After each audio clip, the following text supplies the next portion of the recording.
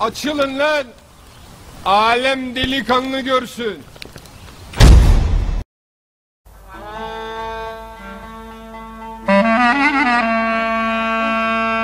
Selamün aleyküm arkadaşlar. Muhabbetiniz bol olsun.